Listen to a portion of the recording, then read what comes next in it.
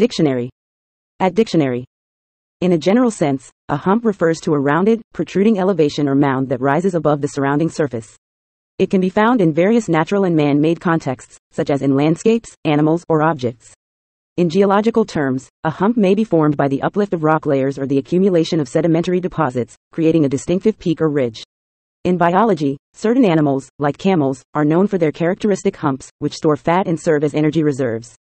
Additionally, the term hump is colloquially used to describe a temporary feeling of difficulty or challenge, as in getting over the hump of a tough situation. In this sense, it symbolizes overcoming obstacles or persevering through challenges.